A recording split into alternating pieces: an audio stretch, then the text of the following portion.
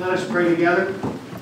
Gracious Lord, thank you so much that we can gather this morning in the name of your Son, Jesus. And for his promise that when we gather together in his name, he is here in our midst. And so, Lord, I do pray that you would open our hearts and our minds to his presence. We pray, O oh Father, that in word and in sacrament, song and in prayer, Jesus would be exalted and lifted up, and all drawn to him. So we yield to you, and we say, Speak, Lord, your servants are listening. For it is in the name of Jesus Christ our Lord that we pray. Amen. Amen. Please be seated.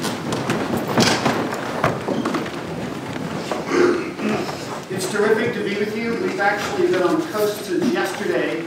Uh, my wife and I drove down to Fort Pierce for to, me to preside at an ordination of a very talented woman by the name of Lisa Hinkle. And uh, of course, when I, they heard that I was coming here, I heard again the story about this church on the barge, making its way up the St. Johns River, uh, and they wanted me to be sure to extend their greetings to you. By the way, um, some of you know, if you're delegates to this upcoming diocesan convention, is that one of the things that we've done is that I commissioned a documentary to be made of the history of the Diocese of Central Florida. Uh, that's going to be shown, and then there will be disc copies available for each congregation. And one of the things that happens is Ernie Bennett telling the story of him as a child being on the bridge and seeing the church, this church, on the barge, and having no idea, of course, what he was looking at. Uh, only later to become the rector of St. Andrews and seeing it all firsthand.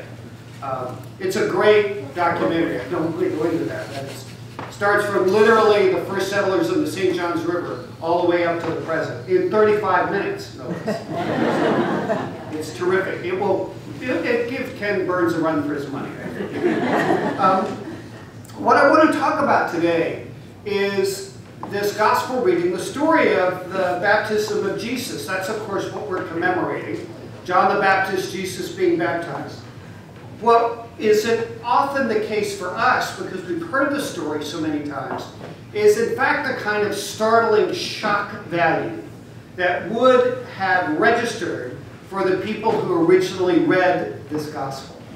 Uh, the Gospel of Mark historically is the earliest of all four of the Gospels, with much of the content coming directly from Peter's eyewitness accounts of what it was like for him to be with Jesus and the stories that surrounded his life and ministry. And so in this very, very compact gospel, we get a lot of mileage even in the midst of very, very short stories. And so what I want to do briefly is talk a little bit about some of the more startling aspects, at least to their first readers, as first readers, and then talk about what that might mean for us, you and me. So it really begins with John himself. Um, John was considered by those in his generation as a prophet, as we do as well, the last of the prophets before the coming of Jesus. What is a surprise is his message. You see, here's John. He's not preaching in the center of the square of Jerusalem. He's way out in the wilderness somewhere. And he's asking, calling, perhaps even by God's declaration demanding people come out from their normal circumstances, the places where they live and work and worship, and to come out there. His very life is in fact a rejection of all that they would necessarily hold dear, or at least put value in. He's, he's a hermit. He lives off the land.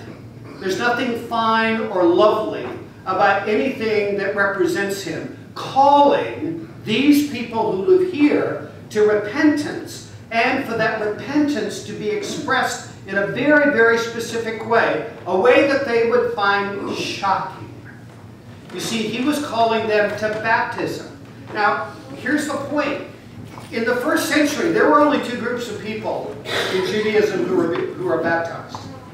The first were non-Jews, Gentiles, who wanted to convert into Judaism you would have a Gentile identity, but what would happen is, is that when you went into the water of baptism and came up on the other side into this big, huge, almost like a freestanding swimming pool that they called the mikvah, they were very clear, and I know you will hear in my description, echoes of our understanding of baptism now. There's a change of identity. Going under the water was literally a burial of the old life. And coming back up out of the water, you receive a new identity. You are no longer to be thought of as a Gentile, not even a former Gentile, or someone who used to be a Gentile.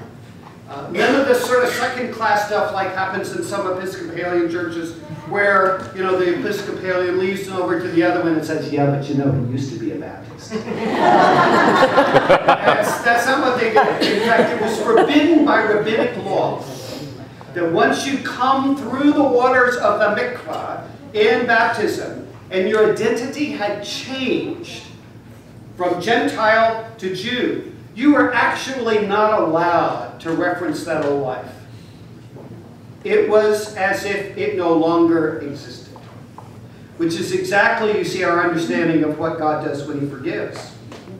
He says, I will remember your sins no more. Now, how can um, an omniscient God choose to forget? I don't know, but see, he's God, he can do whatever he wants to. and I don't mean that facetiously. In other words, there is something within the economy of God that when, as it says in 1 John, we confess our sins, God is faithful and just to forgive us, but also to cleanse, literally to wipe it away. So it, it is as if it never happened. That's what baptism was. For these Gentiles who come under the water of baptism and come out on the other side, they are not former anything. They are now fully and completely Jews. Then there was a second group of people who went through the water, and those were people who were in some way ritually unclean by something that they did. In other words, we're talking sanitation. Like if you touched dead bodies, for example, then you had to go through the cleansing before you could go present yourself for worship. Now, think about this. You're a Jew. You've been a Jew all of your life. Your forebears were all Jews. You've been someone who has been faithful in temple worship. If you're a man, you've been circumcised. And yet John is telling you the sign of repentance for your lack of faith is baptism. You're calling them Gentiles at this point. You're saying that your relationship with God is so corrupt, so, as it were, degraded, that it, is as if you need to start all over. It was for them a shocking, startling call to come into the place of baptism. No wonder, while lots of people came out and many of them were baptized, the Pharisees, the people who were responsible for making sure the law was obeyed and temple worship happened, they came up and they just sort of stood like this. Paul said, John said to them, you're a brood of vipers. He didn't know a lot about political correctness, did he? so that's startling call number one. That John standing outside of the commerce and religious life of Judaism in Jerusalem would say, come out to this dangerous, wild place called the wilderness, as if to renounce that old way of life, and not just geographically, but literally in the waters of, in this case, the Jordan River, saying, my relationship with God is so corrupt that I need to start all over again with a whole new identity before God. Because that's what John was asking of them. But then, in a way that shocked everyone, including those who came out, was that here's this prophet that they figured was thought of him as peerless. There had not been a prophet like this in generations in Israel. So this was the this was the literally the reformation of something very, very new, emerging right in front of them. But yet what does John say? He says, in essence, I'm not the one. He said, the one who is more powerful than I is coming after me. I am not worthy to stoop down and untie the thong of his sandal. Well, who does that in Judaism? Slaves. It was dirty business. nobody untied sandals except the lowest of the low on the pecking order. And so here is the peerless prophet saying that there's someone else coming, and in relationship to him, he's not even worthy to untie sandals. But then he says something even more shocking. I have baptized you with water, but he, meaning this one, will baptize you with the Holy Spirit. In other words, what you've done now is a symbolic action where you're letting go of an old way of life and choosing to come into the new one but it's water on the body. It's a symbol of a resolution. There is one who is actually coming who is going to take that very same action, that immersion, only the immersion is not going to be an immersion in water. It's going to be an immersion in the Holy Spirit. Not something just rolling over you, something actually coming into the very depths of who you are, changing and transforming and giving you a new identity in the deepest parts of your heart and of your mind. Something that none of us could ever do for ourselves, and no washing could ever do in and of itself.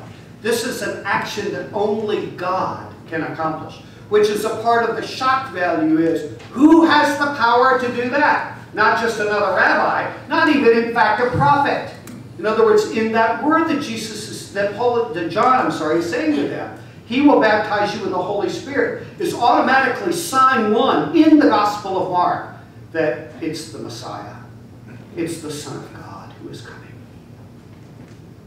And then, it's like they escalate in the midst of their shock value. What happens? This one, Jesus, comes and says, I'm here to be baptized. Do you remember in the Gospel of John, there's this little sort of off-camera dialogue that happens. And John is like horrified that Jesus would come. What are you doing here? I'm the one who should be receiving baptism from you, John says of Jesus. But what does Jesus say? He says, let this be so that it might fulfill all righteousness. What does he mean by that? Two things. First of all, part of what he's saying in the midst of all of that is to fulfill all righteousness, I'm setting a new pace. Righteousness as in, what do I require of my followers? And what I am asking of them is baptism. What I am asking of them is to do exactly what it is, John, that you are doing, but it has a whole different level of meaning. It's a recognition of the fact that I am broken, that I am sinful, that my relationship with God is corrupt, if existed at all, that there's something inside of me that so powerfully needs to change and is so big, it's nothing that I can even begin to create for myself. There's a transformation that I see in my life that I know needs to happen, but I can't do it. It's not just a question anymore of regulation or trying harder. In fact, baptism is meant to bring me to the end of my own efforts and resolutions, to come actually as an admission of defeat, that I can't get there. I might long for it, I might desire it, but the fact of the matter is God has to be the one that breaks through. That decisions, New Year's resolutions, efforts only get me so far. It actually doesn't change the deepest part of my heart. That's what I am begging God to do. That's what Jesus is saying. That's what I'm asking of my followers.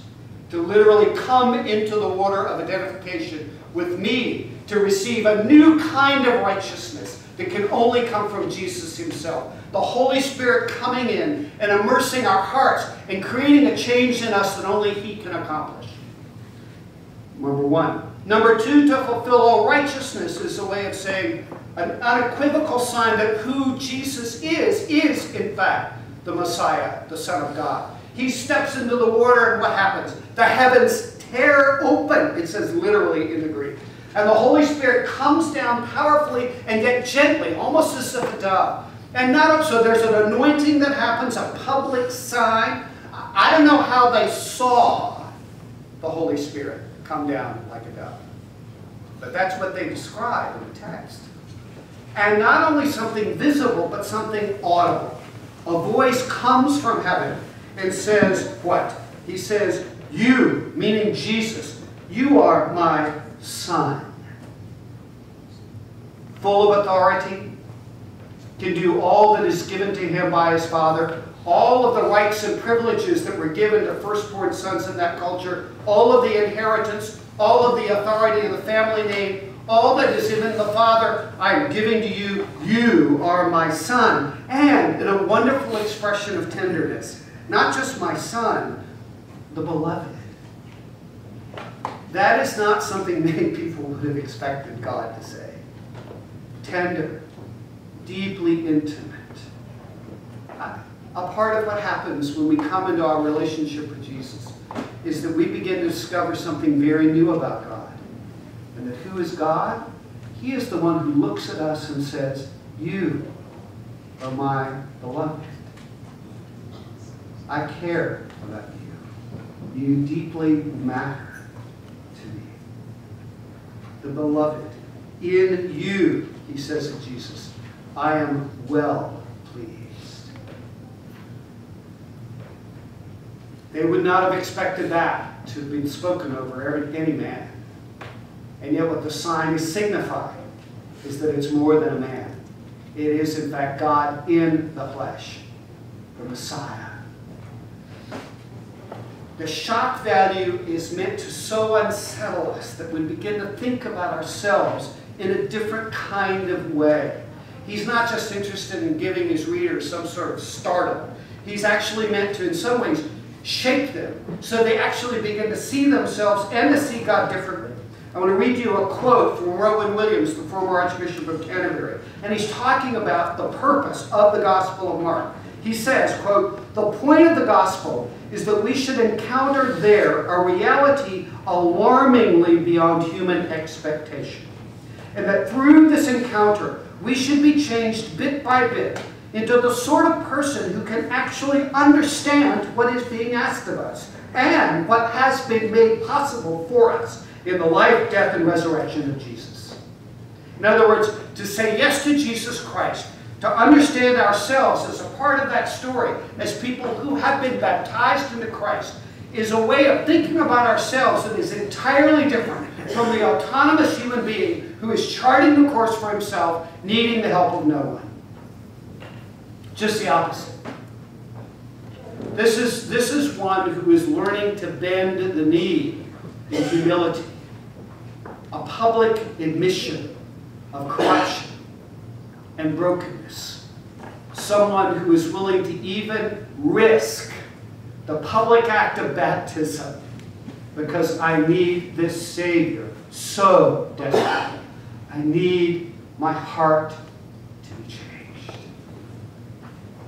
And the good news of the story is, is that it is in fact meant to be for us a genuine message of hope that just because he is the one who is coming in to fulfill all righteousness, the Word made flesh, God knowing everything about what it means to be human in the very flesh of Jesus, that we, in fact, by his very example, were invited to follow into his way, that we can come to him with all of who we are, and know that when we pour out the deepest parts of our heart to God, He is more than willing ready to hear, to listen, to receive, and not just to sort of objectively listen, but actually intimately and personally listen because He cares about us so profoundly and so deeply that He wants to come in and work the kind of changes in our hearts that we desire. There's a quote from Gregory of Nazianzus, who's a 4th century Turkish early church father. I know for most people the whole idea of a major doctor of the church coming out of Turkey is an anachronism. But back then, it was a huge center of Christian life and faith. And he writes this about this passage. He says, Jesus rises from the water, and a drowned world rises with him. That's us. It's not an example that we look at from afar. Instead, it is an action into which we are being invited to come and be a part of that, to say yes to the kind of work that only God can do within us. That's really the invitation of what we're commemorating. It is out of that that our hearts are changed. It is out of that that we can begin to see ourselves not as meager, but instead as people who, though broken, are receiving a new kind of power in their lives, an ability by God's power to begin to live in a new kind of way, to be generous, kind givers, people through whom the power of the Spirit begins to work, where we begin to learn the disciplines of forgiveness and generosity, where we're learning how to serve people, where we're learning how to live not from me, but rather, God, what would you have me do? Because what has been birthed in us is larger, more powerful, and more mighty than anything else we could have ever imagined. To commemorate the baptism of Jesus is a commemoration of dedication. It is an act of saying again, yes, to that which God both has given us and is giving us even now. It's not by coincidence or just the bishop's visit that confirmation and reception and reaffirmation are happening on this, the feast day of the baptism of Jesus. And you all will also, with them, be reaffirming these commitments. What makes that possible is what we see in the gospel. He will baptize you with the Holy Spirit. He will come into the depths of your heart, change you and give you a power that you never knew that was possible. Change your life in such a way is that even in the midst of the worst and the most difficult of circumstances, what you know is the companionship His presence. And even in the midst of hardship, a genuine sense of peace and joy. Because his promise is, I will never leave you or forsake you. That's today. That's the feast of the baptism of Jesus. It is not merely an observance, it is an act of dedication. So as we move into confirmation, I would encourage you that as we enter into the liturgy, just don't let it float off your lips. Yeah, it's what we say now, isn't it? No, instead, think carefully and allow those words to be expressions of your heart, that the mighty power of the Holy Spirit might in a new way be at work in your life. Amen.